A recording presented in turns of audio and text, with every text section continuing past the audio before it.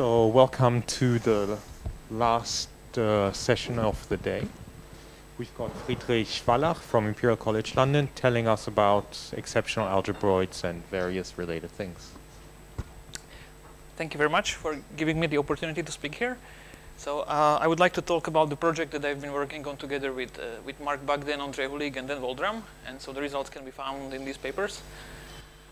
And uh, right, so, so the title is Exceptional Algebroids Embedding Tensors and Poisson-Lie U-Duality, and I will gradually talk about all those things. So maybe to, to that's the first thing. So let's say that the goal of this talk and also of, the, of that work was to build a framework which would be suitable to understand several things. So for instance, the structure, some structures that appear in exceptional generalized geometry, then also consistent truncations, and also the recently introduced Poisson-Lie U-duality by Sakatani and Malek Thompson. So and so the way to do that is that I will want to, I want to build a framework of using some algebroids, and I want to persuade that that's, that's a good and elegant way to deal with these problems. So as a first thing, let me, let me start with a sort of crash course in, in exceptional generalized geometry. So first, let me say that I will work with exceptional, oops, sorry. Uh, yeah. Uh, first, sorry. Uh, yeah, I will work with exceptional groups which have rank less than seven, strictly less than seven. Uh, the reason for that will be that some of the, like the, the approach that I, that I will present, it, it's sort of, um, there is some problem in extending it beyond, but it's, I mean, it, it's, it's, it's a doable thing, but it's still, like, for simple, it's, like we've dealt it only up to that rank. Some, some interesting things happen if you go to seven and beyond, and we are working on that, and you can ask that later, or I will comment on it at the end. But so for now, I will, I will focus on the case up to seven, uh, without seven, so up to six. So what is happening there is that if you, if you are working with, with 11 dimensional supergravity or type 2 supergravity, then the symmetries of, of the theory and the dynamics and the dualities can be neatly captured and encapsulated in terms of some bundles with some extra structure. So for instance, more, more precisely, if we consider this reduction to n dimensions of 11D supergravity or to n minus 1 dimensions, then the symmetries of the theory, they are governed in the first case by sections of this bundle. So, so basically you have vector fields which generate diffeomorphisms, you have two forms and you have five forms. And if you put these things together like this, then there is a natural action on the exceptional group. So, um, so the exceptional group, this, this, notation, if you if you're not familiar with it, it means that this is the this is the split real form of the complex exceptional algebra of rank n.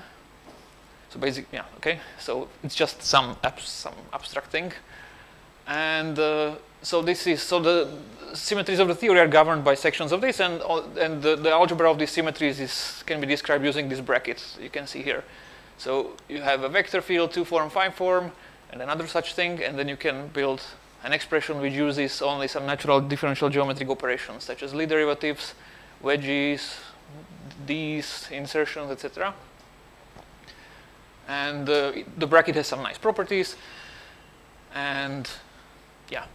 And then you can do the same thing for type 2a and 2b, which is rather surprising to some extent. So you, you can find, you can, the bundle is now more complicated.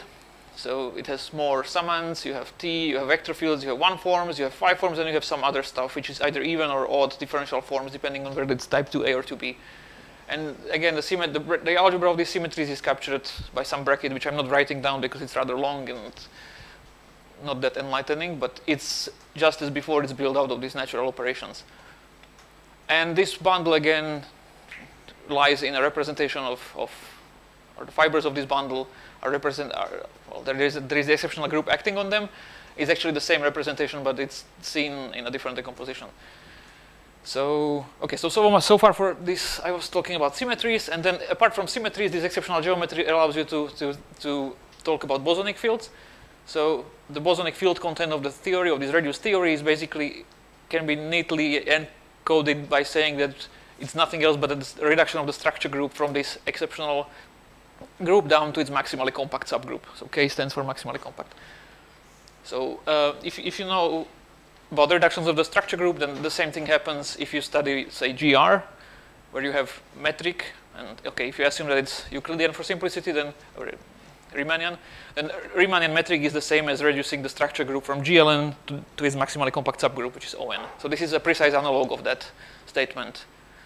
And just, just as analogously, you can build some curvature tensors out of these generalized metrics, and vanishing of these tensors will, will correspond to the, to, to the fact that these fields, the bosonic fields are on shell. So the story very neatly generalizes the usual story of Einstein-Hilbert action and of GR in this exceptional setup. Now, to be more concrete, and there is another interesting thing that one can do, and that is to study maximally supersymmetric consistent truncations. So we heard about consistent truncations a little bit before. So those are physically interesting things. And what was shown in this paper by Lee, Strickland-Constable, and Waldram is that uh, if you require maximal supersymmetry for these truncations, then you get that this is basically the same as having Leibniz, what is called Leibniz parallelizations. So Leibniz parallelizations, to break it down, it means that you have a manifold, M, some space, and over it you take this bundle, or, or this bundle, but depending on which theory you're interested in, and you, you demand that there exists a global frame such that if you take if you take the bracket, then the bracket closes on this frame with constant coefficients. Okay, so what is non-trivial here is that you want the frame to be global, you want it to be compatible with the, with the exceptional group, and you want that the structure coefficients are actually constant. So this is a very strong constraint.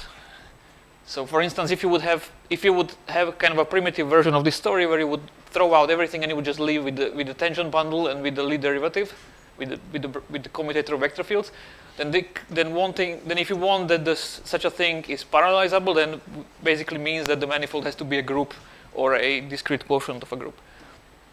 So so this is a very very constraining condition, and therefore one natural condition one natural question that you can ask is what are such possible spaces that admit these parallelizations.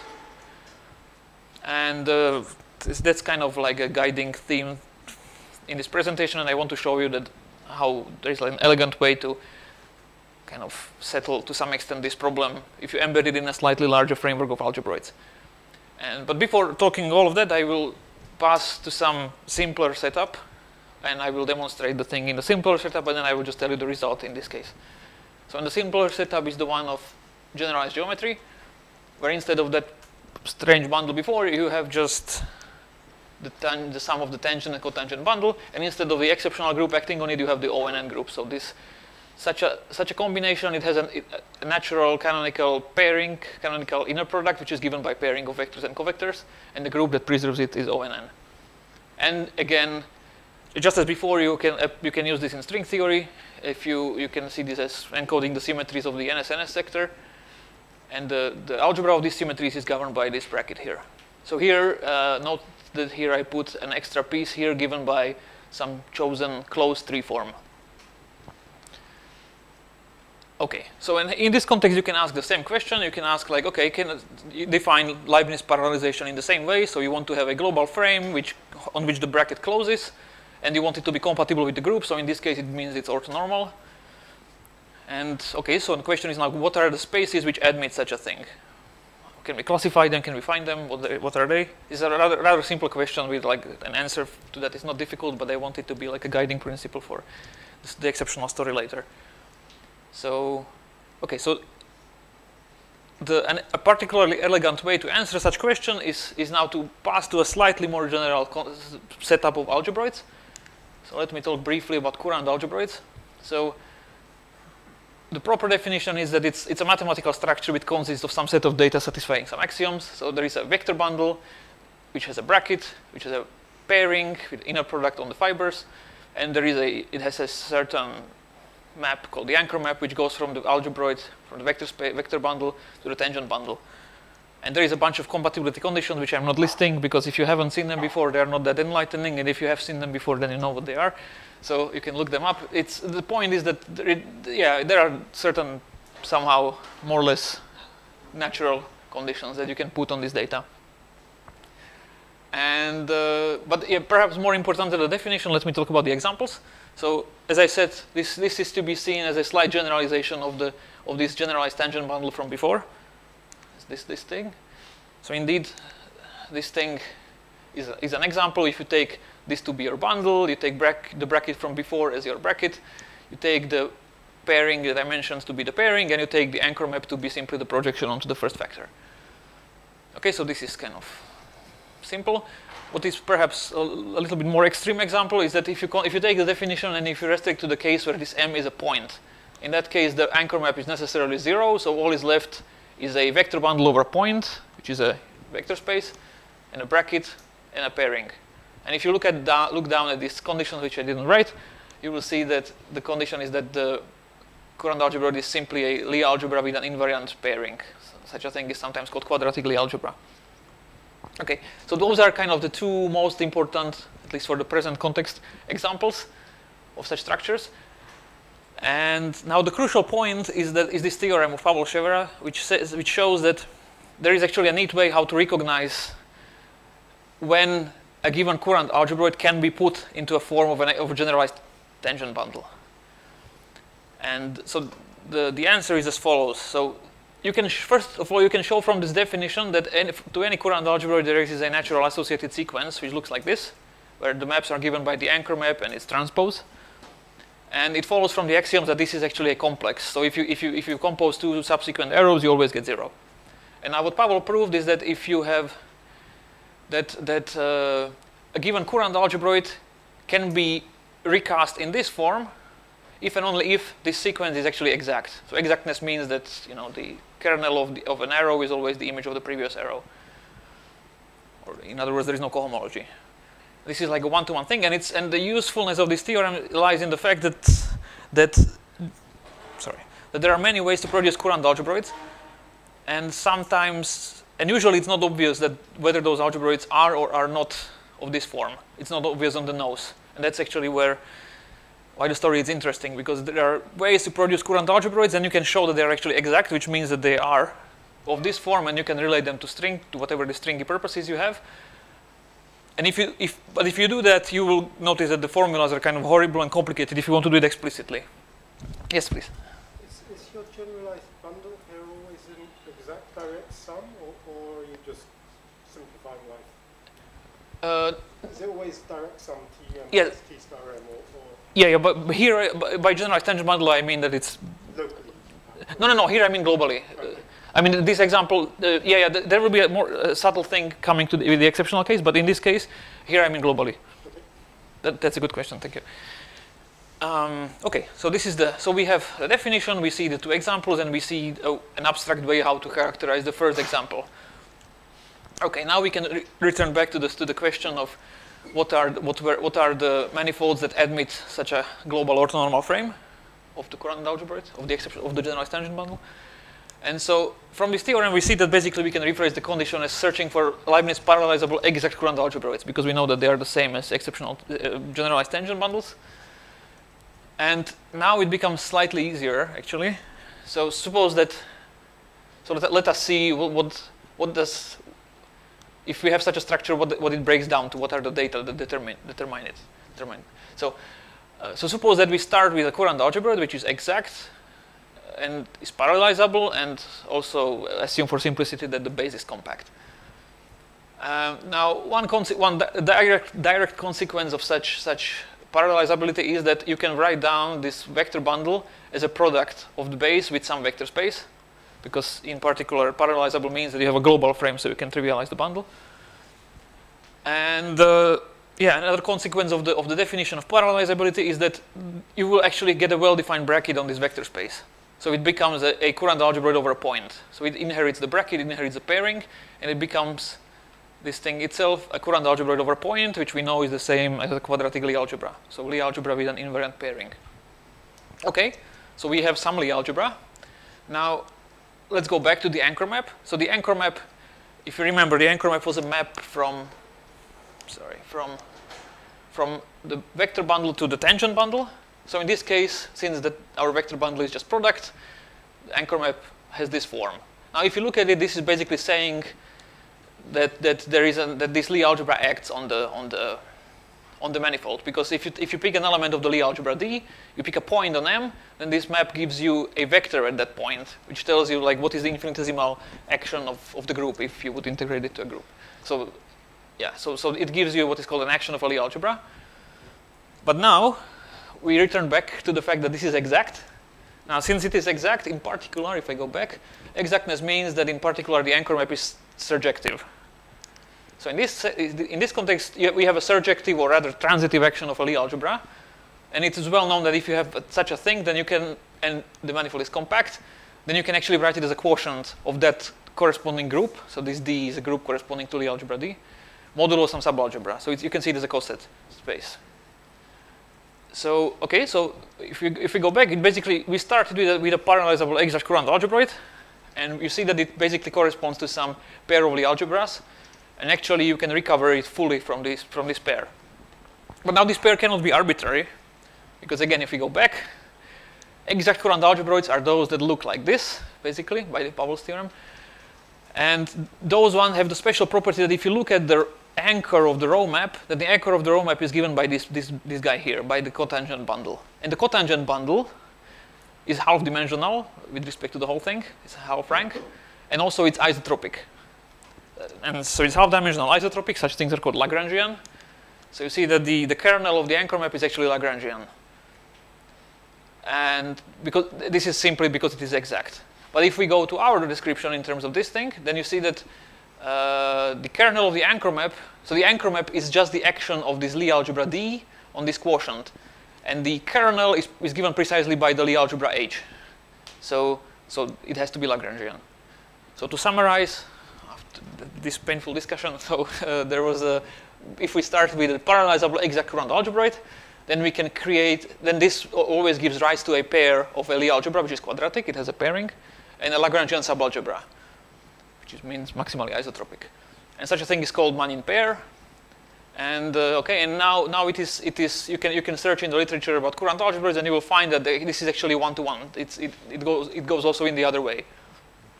Okay, so I showed it this way. The other way it's slightly more subtle, but not very much. And actually, to show it the other way around, so that Manin pair induces a parallelizable exact Courant algebroid. Uh, the thing, you, the, the, way you do it is actually that you start with with this Manin pair. You try, kind of try to go back. You go to this space. You build some algebroid over it, and then you have to check that it is actually Courant. And to do that, it's it's kind of easy to do it from this abstract definition. So in this way, you kind of circumvent the need to working with this t plus t star to this, this direct sum. Instead, you work with the concept abstractly, and this makes trivial the calculations kind of trivial. So, so this is why it's useful from this aspect to use these things.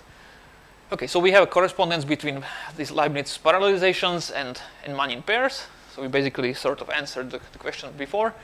But now it's, it's actually a good, good time to, to, to to pause at this point and to realize that we also have a link that one can also, in this language, give some insight into Poisson-Lie T-duality, introduced by Klimčík and Ševera in the 90s.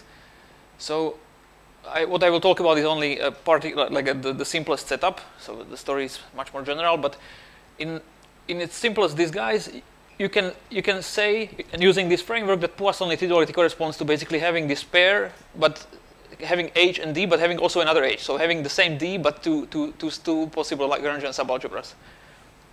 And the reason, or you can have more, you can have three, infinitely many, it doesn't matter, but the point is that you have more than one.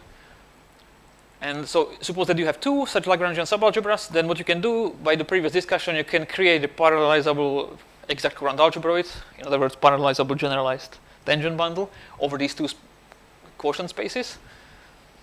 And uh, what I, okay, now the claim is that if you equip, if you put some dynamics on them, if you put some dynamic on, some dynamical quantity, some generalized metric on this Lie algebra D, then it carries over to generalized metrics here and here. And uh, if you use that as a target of, of sigma models, then you can show that these sigma models are dual in, in some well-defined sense. So this is one way to say what it is. So from, from, this, from this perspective of Courant algebroids, in this context, it corresponds to basically picking up two Manin pairs for the same, same algebra. And in a special case, if this, if these uh, two Lie algebras are complementary, in general they don't have to be, but if they are, then at least locally you have that you can identify the quotient with the other group and this other quotient with the first group. So, so that your dual spacetimes, stringy spacetimes are given by these Poisson by these groups which in this case go under the name Poisson-Lie groups because they carry a compatible Poisson structure, as was I think discussed today already by by by Chris. And uh, yeah, so this is where the name comes from, I believe. So, okay, so this this so far this was the this was the the generalized geometric case. So you see that you could break it down to basically this statement. And now let me go back to this exceptional story. It, it seems that I will finish earlier, so if you have any questions, then go ahead. yes?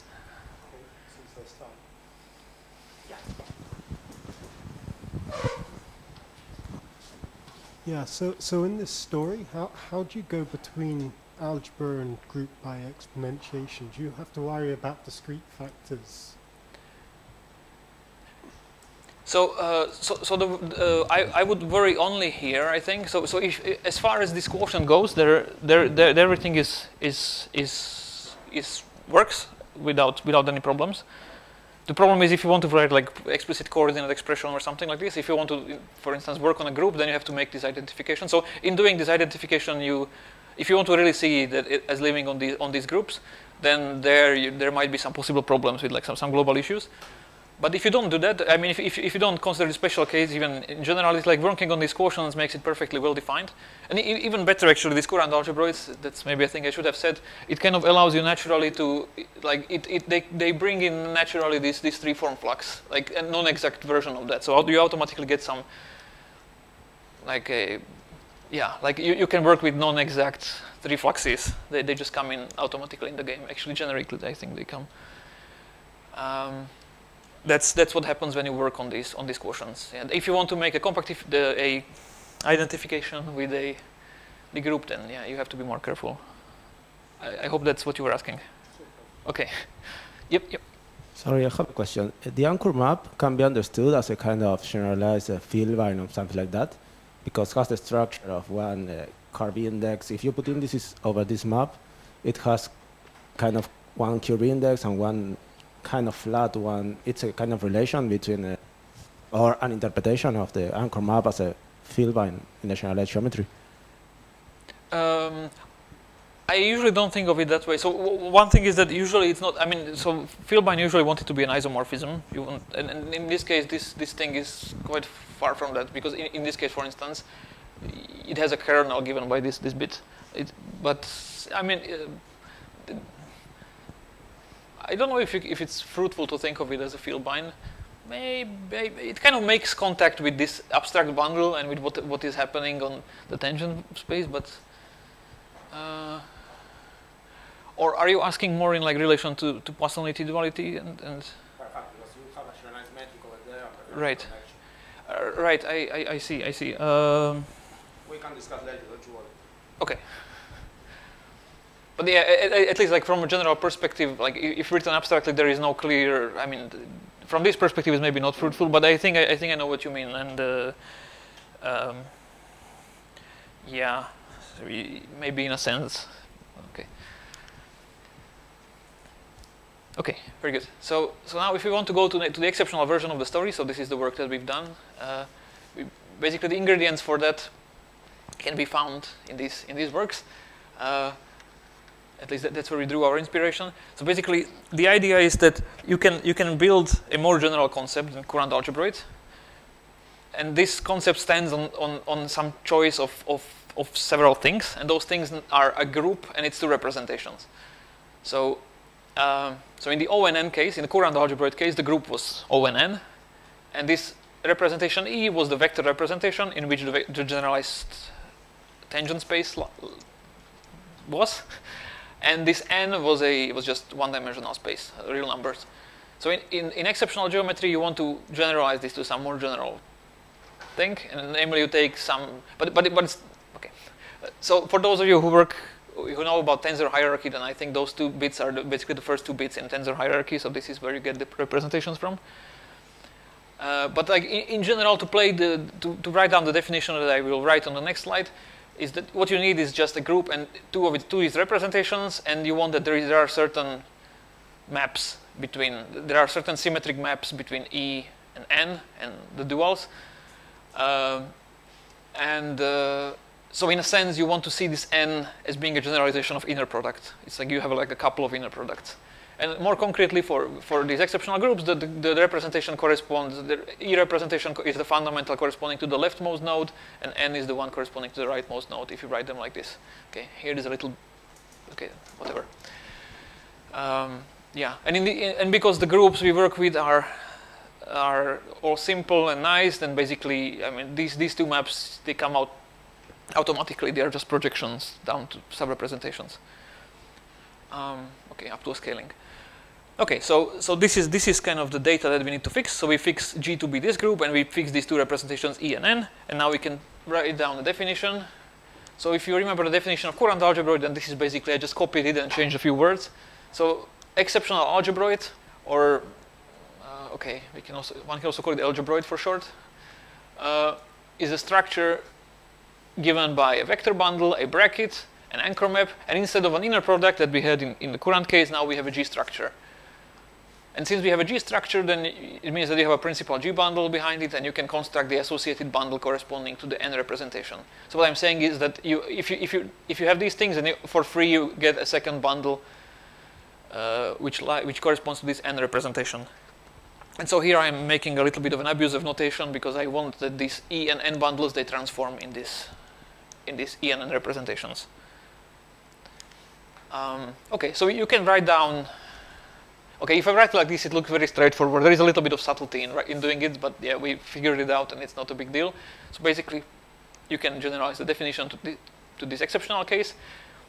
But now, what, what, what kind of makes us sure that this definition is the right one is the following rather non-trivial fact, that there is a way similar to Pavol Ševera's theorem about classification of exact Courant algebroids. There is a similar way how one can recognize when a given exceptional algebroid has the form of one of these things that I had at the beginning. Like this one or this one, because those are the ones that play the, the role of generalized tangent bundles. So kind of the, the, the first result is that there, which we proved in this works, is that there exists a certain natural sequence following from these axioms. It looks like this. It's again, there is the tangent bundle, there is the E bundle, and, but there is something slightly maybe new and uh, yeah, so we have a different sequence, and the claim is again that from the from the axioms it follows that this thing is a chain complex. So if you compose the two subsequent maps, you get zero. Okay, so th this you can show. This is fairly straightforward. What is less straightforward is actually this, the this theorem that we proved that actually if you require that that this is in fact an exact sequence. So exactness. So note this subtlety that now we don't have like zero on the left. So exactness now means exactness in here and in here. Okay, so basically it means the row is surjective and in that uh, kernel row is image of this. So okay, so you, if you if you if you if you have a an algebroid or exceptional algebroid which is exact, then you have basically two cases. One is that the dimension of the base is the same is, is n and is the rank of the exceptional group, or it is n minus one. And the claim is that if this is so, then locally it's important, you can identify the, the exceptional algebroid with the exceptional tangent bundle for M theory or for type 2B theory. So those ones that we had at the beginning. These rather long expressions, together with the bracket and everything. There is a similar thing for 2A, which is more subtle, because 2A is, in a sense, non-maximal theory from this perspective. So, so uh, basically, but you can still recover it if you require non like sort of minimally non-exact theory. So you don't want that the cohomology is zero and zero as you would in the exact case, but instead you want that this is zero dimensional and this is one dimensional.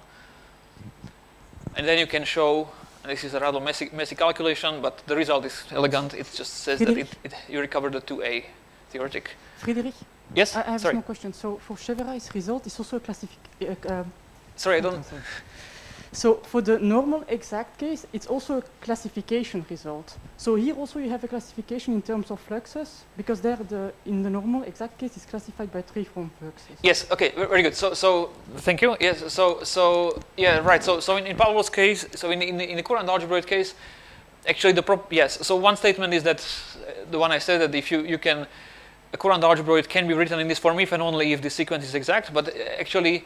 Uh, like a you can you can go further and you can actually show that the such possible exact courant algebroids are classified by the third cohomology class of the manifold, because uh, because for this you, because you have presence of this H flux here, and uh, so if you are given an abstract courant algebroid satisfying that this is exact, then you can always put it in a form like this for some H, but this form is non-unique. You can you can you can you can also, using some different choices, you can identify it with uh, this, different edges in the same cohomology class. So basically, it only depends on the cohomology class. Uh, and in here, here it's it's it's uh, here it's more complicated. So so the proper the easiest way to say to, to say it precisely is that if this is true, then locally, uh, so basically there are kind of like two. Sorry, if it's exact, then there are two possible normal forms in which you can put the algebra locally. You can either have the, that thing or that thing. You can still twist them somehow. If you're interested in the global thing, you can still do some twists. Uh, but uh, and but the gluing is kind of more complicated in this case, and it's to me it's not even clear that globally you can you can you can if you have an exact exceptional algebroid that you can globally identify it with anything like this. I, already that is not not not not clear to me that that's I mean, as a, as a bundle, not talking about the bracket. Already as a bundle, it's not clear to me that you can write it globally like this. In Courant algebroid case, you can, uh, because some things are simpler there, and in some sense, it's some sort of abelian version of the story. But this exceptional story is more, more, more, actually more, more interesting, perhaps. So, so I don't want to. So I'm not claiming anything about the global thing. I, I will tell you about twist on the next slide but but it still doesn't answer the question about the, the global classification is still a little uh, one step further in difficulty. Okay, there, there, there is a, maybe a, a, caveat here, not caveat, actually a, a beautiful thing that actually I, I, said that if it's exact, then you have these two. You can either put it for uh, put it locally into this form or this form. But it's, if it's, if it's the, it, in these two AKs, there are actually some local moduli that you cannot get rid of because you have some scalar deformations possible massless deformations of the theory, so I will talk about it on the next slide. So here, in this case, actually, locally, the, the form of the algebra is not unique, but it depends on, there is a one or two-dimensional degree of freedom left. So let me go into that. So, so fluxes. So if you, if you go through the story, then you, you see, by the way, that this, it gets progressively more and more complex. So in M theory case, sorry, I should have said that like the way to prove this is basically to go in the same way as for Courant algebroids. You kind of build something and then you have to show it satisfies the, the, these axioms. So that's where you, you kind of heavily use the, the fact that you are working with some abstract concepts like this. And uh, in the course of that proof, you actually also find out what the possible twists are. So I will let me give them here. So for the M for the M theory case, you have a possible twist by uh, one form and four form. So just an emphasis. Remember that we are working with exceptional groups of rank up to six, including six. So the manifold, in this case, it's six-dimensional at most, and in type two, it's at most five-dimensional. So that's why you don't have the seven-form flux and these things. Uh, so yeah, but the, the remaining fluxes are a one-form flux and a four-form flux. This one is related to the three-form in M theory, and this one is related to the fact that we are we are working with warped compactifications. So those are kind of the things that appear naturally in, in the context of this uh, this type of geometry. So this is kind of the, related to the field strength of the warp factor. And there is some Bianchis that this has to satisfy. What is rather more interesting to me is that is the, is the 2B case where where the formalism kind of enforces or shows that the, the, the, fields naturally organ or the twists naturally organize into some objects like this, which I maybe it's known, but I, I mean, I, I, to me it was a surprise that it kind of very neatly organized the, the twists organize into a flat F1, sorry, flat GL2 connection, a covariantly constant doublet of spinor of three forms, and a covariantly constant five form, but that condition is not here because it's five dimensional at most, the manifold. But it's kind of curious that it, it organizes like this. So if you're interested in how this relates to the scalar degrees of freedom of 2b, then you can ask me.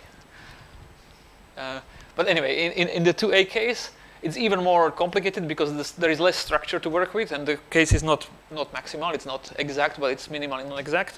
So the story is more complicated, but in particular, I, the interesting thing is that you have two possible zero-form fluxes, which satisfy the condition that their product is zero. So one of them has to be zero at least. If, if you have like a compact man, like connected manifold, then basically at least one of them is zero. And these correspond to deformations. One of them is the Romans mass, and the other one is the is, is the parameter coming from this paper, I, I, believe. I don't remember which one is which. Maybe you can infer it from from here. But you see that there is a bunch of bunch of things. So actually, I can I can maybe I can say a little bit about like when when you're trying to to prove this thing that exactness of this sequence or minimal non-exactness implies something and something. Basically, the thing you you do is that you build this algebroid, and then you are checking the conditions, and then you then you discover that actually locally you have the possibility of these twists, and then what you do, you are trying to use the gauge freedom to, to kill those twists. And even though I'm not writing the gauge transformations, it's kind of a funny exercise to check that you can one by one eliminate them until you, in this case, end up with zero flux, here with zero flux, and here with one of these two, two guys at the end. Okay, so so this is the story of the twist, and now let me let me I think talk about oh yeah the parallelizations the thing I promised. So, so now without further elaborations, I can tell you what the result is. So I should say that the, the, the, the result of this part, it kind of parallels a result obtained by Gianluca Inverso in 2017, where he used a language, a very, like a very different type of language for, for obtaining basically these, these kind of results. But, but yeah, so in, in a sense, this part of the work can be seen maybe as a, as a simplification and maybe, maybe slight refinement of his results.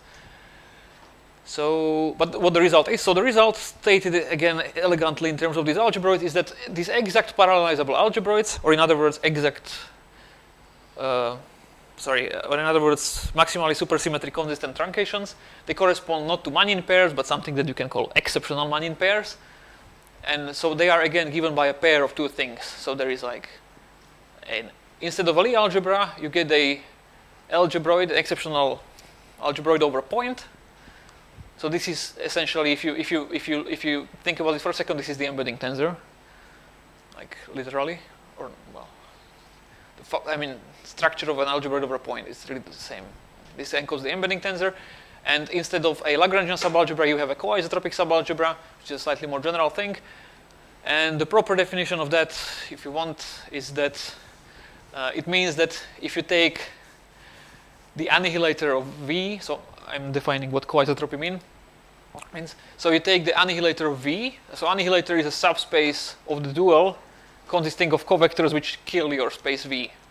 Okay, so this is a uh, annihilator.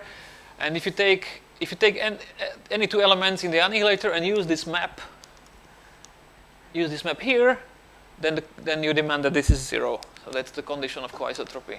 It's kind of dual to the notion of isotropy whatever, it's some condition.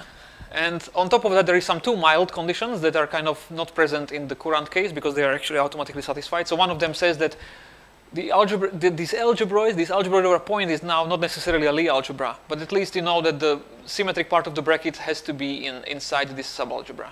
So this, this coisotropic subalgebra has to contain all the bad stuff, all these, all these things of this form.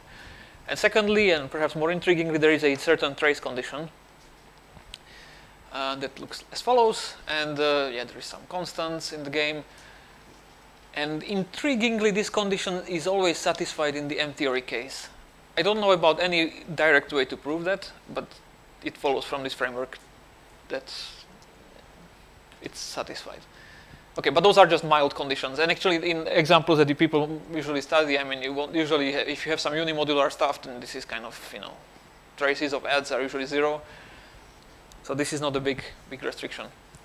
But now you can also also look back and you can you can you can try try to reformulate the the, the, the Poisson-Lie duality in this language. So in this language it corresponds as before with Poisson-Lie duality. It corresponds to having fixing E but taking different V's inside. And uh, actually the framework I'd automatically again using this beauty of these algebroids and of, of the compatibility of these structures you can show that actually this is automatically compatible with supergravity equations. That follows kind of semi-automatically. You only need to do a little bit of check. Um, right, so that's what we did in the first paper. Um, okay. So yeah, now let me go to examples. So, so kind of the, the, the most, the simplest class of examples that we have. So first of all, I should say, okay, so if, if if I want to give you an example of such a parallelization our Poisson-Lie duality, basically at this stage it just suffices to give you a pair of these two things. So space with a bracket, this algebroid, and a coisotropic subalgebra of that. So the simplest case is if you take the bracket to be zero. So if you take the big space to be abelian, and therefore sub any subspace is a subalgebra. So the only condition, this is this is trivial, this is trivial. Only condition is that it needs to be coisotropic. So if you have a subspace and a coisotropic subspace of that, then this leads to an example always, and the, then the space that you will get, this parallelizable space, will be a torus. And now different choices of, of this subspace are different choices of coisotropic subspaces, if I now want to make a connection with the duality. So different choices of subspaces are related by the action of the exceptional group, and those considered to the kind of dual tori or U-dual tori. So this is the usual U-duality. Um, yeah, so that, that's the first example.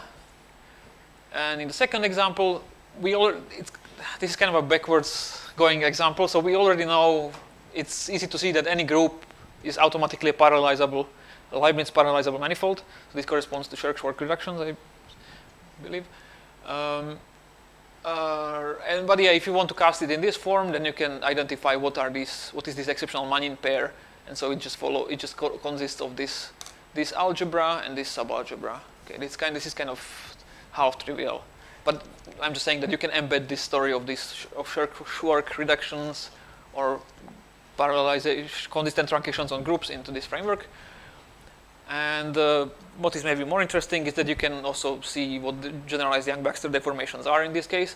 So they just correspond to the fact that you, you, you- you take you fix this E, but you deform this V such that it stays transverse to the first first first bit. And uh, yeah, and then the condition and the condition for such thing is uh, sorry the, the condition for this new subspace to be still a subalgebra is the Yang-Baxter uh, equation. So the story embeds like this. Note that in both of these cases, it you have that the so you have this E space and you have V sitting inside it, and a complement, a natural complement to this V is this K here. So in this case, and also the one above, because it's a special case, uh, you see that that uh, this V has a natural complement which is a Lie algebra. Uh, so this this is this relates to, to to the thing that Chris was saying before. I think that, that you, you can have this like the first batch of this of this of these generators of of the exceptional Drinfeld double. You can you don't have they don't have to form necessarily a Lie algebra. In this case, they do, but in general they don't. I mean, in, in, here you don't have such a, I mean, yeah, here here the only thing you want is that you have this coisotropic subalgebra. So it's dual. Its its complement may or may not be a subalgebra. And in fact, in the next examples, it will not be. So let me pass to the more interesting examples. So you can recover spheres. This is uh, as explained in this paper. In our framework, it, it, it- in this framework, it just amounts to saying that you take the pair of SO5 and SO4.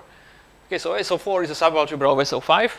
But what is, uh, okay, that's, that's simple, but it, what is kind of non-trivial is that it is a co-isotropic subalgebra. That's kind of the, it, it's kind of the only pair of Lie algebras where this happens that I know. That, that's, uh, yeah, I can, I can be more explicit if someone wants, but yeah. Uh, in this case, it just so happens that that this is a co-isotropic subalgebra, the other conditions are trivially satisfied, and the parallelization that you get is the one on a, on a four sphere. Um, Fridrich? Yes? You're always thinking compact here, I guess, right? When you say the only example. Because you Uh, could do yes. trivial other examples by right. taking non-compact real forms. Yeah, I guess I meant compact. Thank you. Yes. Yeah, yeah. Thank you. Um, right. So yeah, this this gives an M theoretic parallelization. So so you get an exceptional tangent bundle in the M theory sense over this, and you get a parallelization. So you can do consistent truncations on a four sphere. A slightly more complicated example is, is, is you can recover the five sphere in the type 2b case if you take this kind of algebra. So so the notation by this notation I mean that you have this space SO6 plus 6 plus 6 and now the bracket on this thing this exceptional algebra bracket on it is given such that first of all this is a subalgebra so bracket of two guys in here is the SO6 bracket bracket of this and this is just the action of SO6 on this representation space but uh, on the other hand if you take bracket with anything in here that's zero Okay, so this is central, this is left central. So you see that the bracket here is not skew symmetric, because if you take the cross bracket, then it's not skew symmetric, because bracket of this and this lies in this, but bracket of this and this is zero. So this is not a Lie algebra in usual sense, I mean, in any sense. Uh, but still, if you take that and if you take this to be your subspace, then you can again check that this is coisotropic, and then hence if you integrate it to, to groups, uh, then you get a five sphere as a quotient. And okay, so yeah, in these cases, unfortunately, there is not much of a duality going on. But if you perform some contraction, if you degenerate this example, the second one, if you degenerate the group, the algebra SO6 to SO5 semi-direct product with 5, it's called a Wigner contraction or Wigner inner contraction, and you keep the rest un untouched, then this thing will admit to two interesting coisotropic subalgebras. One of them given by SO4 semi-direct product 4, and the other one is by SO5.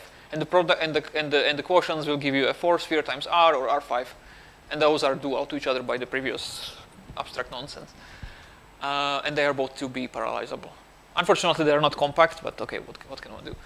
Uh, if you want a compact example, still, uh, still rather maybe a simple hands-on example is that if you take the similar thing, you take just SU2 plus 3, meaning again that this 3 is central. So bracket with anything in 3 is 0, and the cross bracket is given by the bracket in of something in here, and in here lens in 3. So this is the, al the algebra, and the coisotropic subalgebra, you have two choices. You can choose either 3, or you can choose u1 plus 3, and one of them results in a 3 sphere, and the other one results in a 2 sphere. And they are, by this argumentation, they are Poisson Lie dual. And one of them is M theoretic, and the other one is 2A theoretic. Um, okay, so so much for the examples. Um, and uh, yeah. Fridrich, can I just ask a question here? Yes, please.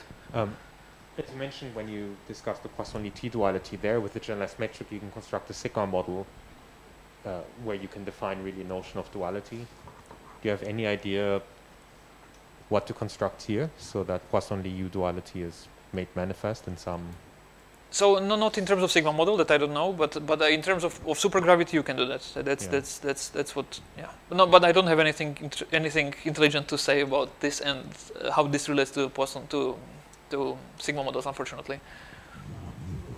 What is the condition that if you take two coisotropic V's um, and they give the same uh, solution of supergravity after isomorphism, after diffeomorphism? Is there some condition like that? Um, well, yeah, it, it may so happen that, that, they give the same space. Like for for instance, the in, in, in, okay in this kind of half trivial case, when you have a torus, you always get if you if you take different choices, you always get different tori. But it becomes interesting if you put some generalized metric on it, because then then the resulting torus, if you if you identify all all quotients with some given torus, then the generalized metrics will be different. So in terms of space, I, I mean, well, there is the obvious condition that if you have a, if you if you have a such a coisotropic subalgebra and you act with the adjoint action on it, then you will get a space which is the same. But in, in general, I don't think there is a general condition to determine when two such things produce the same thing, at least as far as I know. Okay, so yeah, that's uh, that's it. I can tell you what, what more can be done with this. So obviously there is a problem of higher rank. Maybe at this stage I can say, so the problem with this E7 case is that one of the axioms, which I didn't write, is uh, no longer satisfied as it, as it is written. So, so the, the, the thing is that, um, so if you know about Courant algebroids, then there is, there is a axiom which says that the symmetric part of the bracket is governed by the inner product of the bracket of, of on, on the Courant algebroid. And there is, a, there, is a, there is an analogous condition here. But that condition is not true in, e in the E7 case because of some, well, because it's not true. It, stuff gets kind of more complicated. So uh, there are different, there are other things that you can say. There is a framework in which you can generalize this thing, but then you have to be careful and you have to check whether that more general framework still, whether you can still recover your exceptional tangent bundles from this condition, because that's kind of crucial to the story, that you want, like the, the, the, idea was not to build any generalization. I mean, if you want to any, have gen any generalization, then you can talk about Leibniz algebroids. They are very general and they encode all of these things, but the, they are too general. The thing is that you want to have notion which is strict enough so that you can recover from exactness of this sequence the tangent bundle, the exceptional tangent bundle. So in the E7 case, this is a work in progress, but yeah, so how to fit it in this particular framework. And uh, right, and then you can talk about global classification as we briefly touched before. And uh, another particularly interesting thing is to deal with non-maximally supersymmetric consistent truncations because those, as you see here, the, these maximally supersymmetric consistent truncations, sorry, uh, like they correspond to, to these exceptional Manin pairs, and this is a super strong condition. So as you saw, the examples are not too numerous. But in the case of non-maximally supersymmetric consistent truncation story is much more there is lots of lots more interesting geometry flowing around. So that's that's one another thing to do. And then you have you know usual stuff. You can do, you can encode, try to put in fermions. You can try to go away from exceptional groups towards some like more general triples of of of this data. That's also an interesting thing, and and so on. So yeah, that's that's all from me. Thank you very much for your attention.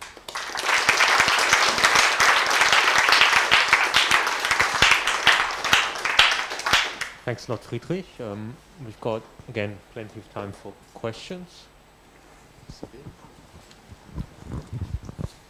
Uh, so it's related to, to Eric's comment in the middle of the talk. Sorry? It's related to Eric's uh, Ah. question.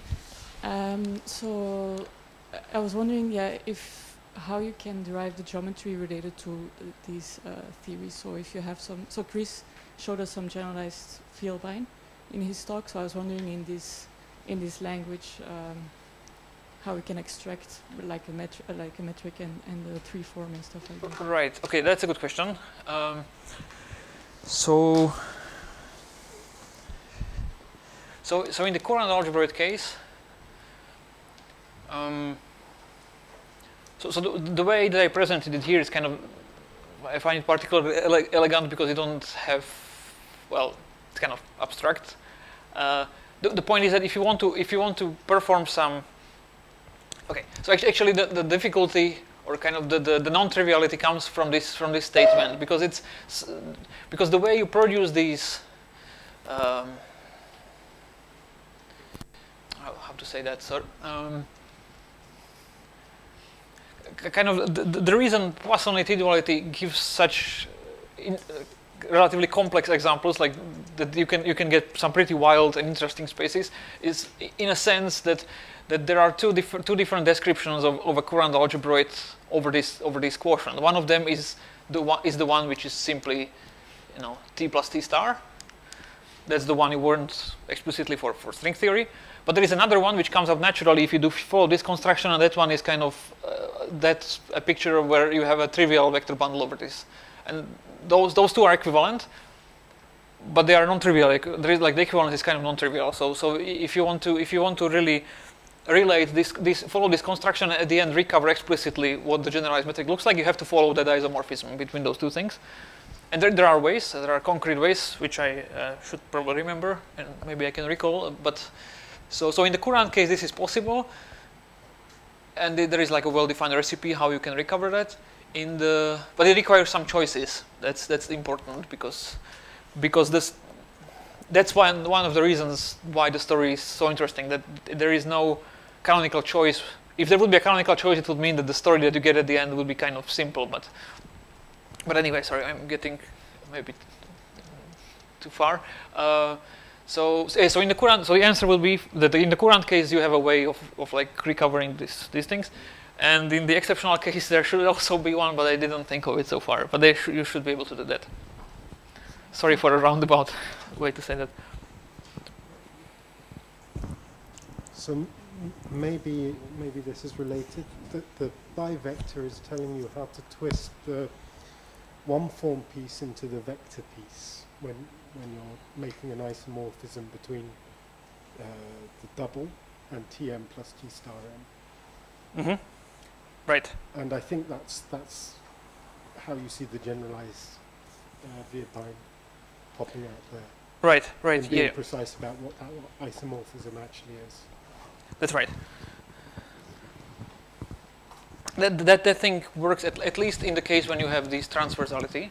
So you have, you have so that you have the, the group. If you don't have the group, then then I think you then you need to pick some choices, like some connection or something to make to make it work.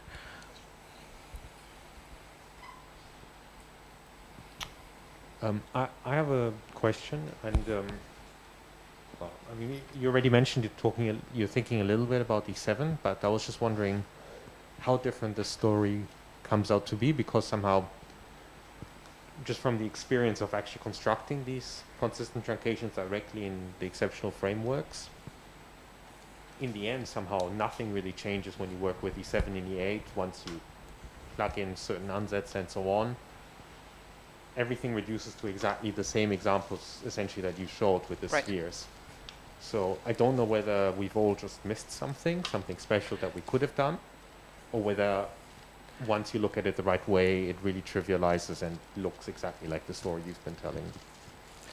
I don't know if you've got any insight on this yet. Um, no, but it's also because I haven't looked at it for, for now uh, some time. But yeah, uh, th- th- th- that's a good point. Like from, from some perspective, the, like it, it's going to E7 is not a big step. It, it, it seems very much like a natural thing to do. So it's kind of curious why it seems to break in here, and probably the reason it, that it breaks in here is that uh, that we are not using the most natural definition in here. So in fact, there, I, yeah, I think we came up with a, with a more natural definition, but we haven't yet checked whether whether this property of uh, sorry whether this property of recovering the exceptional tangent bundle whether it still holds. Uh, so yeah, so I, I- I think it probably can be traced to the fact that maybe this is not the although this works and it's beautiful, it's, it's may, there is maybe a, a more worksy and beautifully formulation that would uh, that would that would make E7 like more in line with the other examples, and also then presumably go beyond. But interestingly, stuff breaks more and more as you go to E8 and and all that. So that's kind of a nice challenge. Okay, and may- maybe just um, another question, given that you have this slide open now, do you see any sign of something like generalized type 2b supergravity arising just because you were looking at the fluxes and the deformations and so on, and there's some story, I guess Mark here has even done a little bit on that, uh, with how generalized type 2b arises here, like the, uh, you can... Uh, You mean the one where you don't have a dilaton but you replace it by? Okay, that, that, that's, that's a good question. So, so, so, so there is a natural way to approach that in the Courant, from the Courant perspective, where you can fit it nicely with. So that, that's uh, that was our work with Pavol in a couple of years ago. But that, that's the generalized geometric story. It fits in nicely, actually, surprisingly nicely. I don't know yet how to relate it to the to this case. But any, anyway, the, the stuff that I, that, I, that, I, that I had here is kind of local, and locally you don't really feel much of a difference between that. So, so that, but yeah, I, I don't. uh, We had some discussion with, with Dan Waldram about this. I, I, I, I quite forgot, but but I, I don't have a, a good, don't have anything concrete to say. But it, it's a good question. It should be investigated, and it's on the list of to do things. Okay. Um, any other questions? Okay, well then let's thank uh, Fridrich again.